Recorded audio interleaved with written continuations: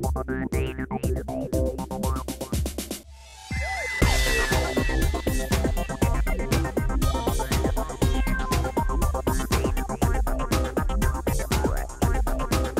morning, everybody. I'm Johnny Cash. Actually, my name is Robert Randall. I'm with Universal Avionics, and I am uh, proud to be here to introduce our new product. It is SCN 31 for the Unilink 800 and 801 Communications Management Unit. Today's Unilink currently is FANS 1A compliant for Oceanic CPDLC and ADSB. It also contains v VDL Mode 2 capability. Now, with the development of SCN 31, the Unilink 800 and 801 meets the Eurocontrol's Link 2000 Plus program requirements.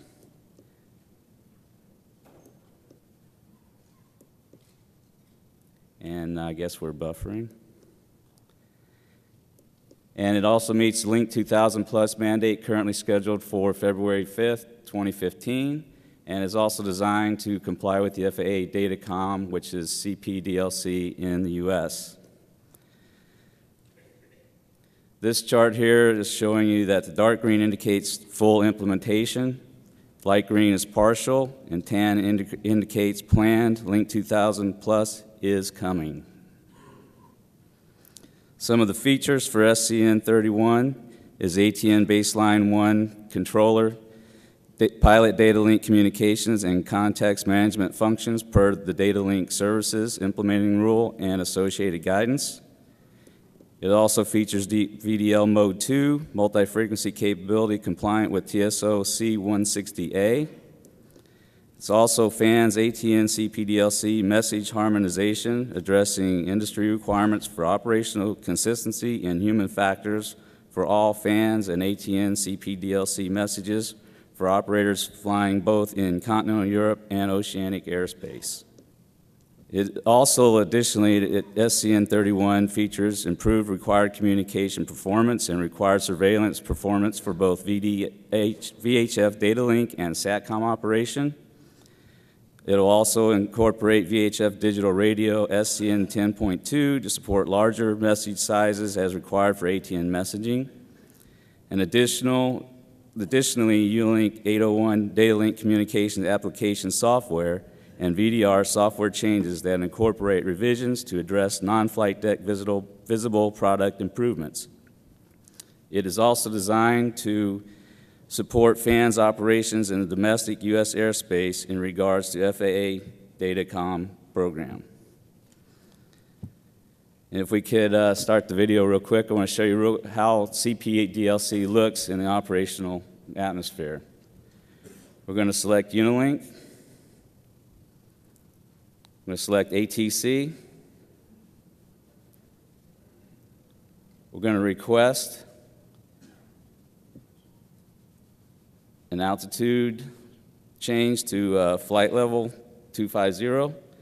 Under the altitude block, you'll enter 250, hit enter.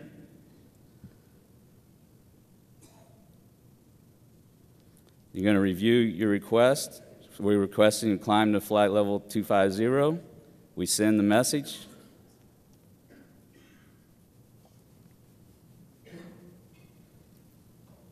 We get a message back from the message indicator. We want to see what the message is. It's a Unilink ATC alert. It says request climb to flight level 250. And we get the tower message from the tower says climb to and maintain 250. We acknowledge with the Wilco. Hit send. Message sent. And that is texting and flying, basically. There's the three versions of the Unilink available. It's going to be our standard Unilink 800, which is available today, our Unilink 801, which includes internal radio, and then our Unilink 800 and 801 with Link 2000 Plus. You're going to ask me, Robert, how do I get SCN 31? Well, I'm going to tell you. SCN 31 will be offered as an upgrade to your existing 801 and 800 uh, communications unit. It, uh, future purchases and installations will include Link 2000 if you request the SCN31 to be uh, included. And you can contact your Universal Avionics authorized dealer or Universal Avionics sales rep for availability and pricing. For more information and another demo, stop by and see us at booth 809. Thank you very much. Aero TV's coverage of the 57th Annual AEA International Convention and Trade Show, live from Nashville, Tennessee, is brought to you in part by the following sponsors. AML's patent pending wireless induction charging system eliminates confusion over those charging cables, cuts down cockpit cable clutter, and allows you and your passengers to fly cordless and eliminate the cable nightmare. www.aviationmodificationleaders.com Small, light, and ADS-B compatible. The Sandia Aerospace STX 165 Mode AC transponder provides an uncommon value for today's aircraft. Check it out now at www.sandia.aero. Finally, the extraordinary story of the world changing X Prize space competition is being told and illustrated with hundreds of insider photos in Jim Campbell's colorful new book, Beyond the Blue.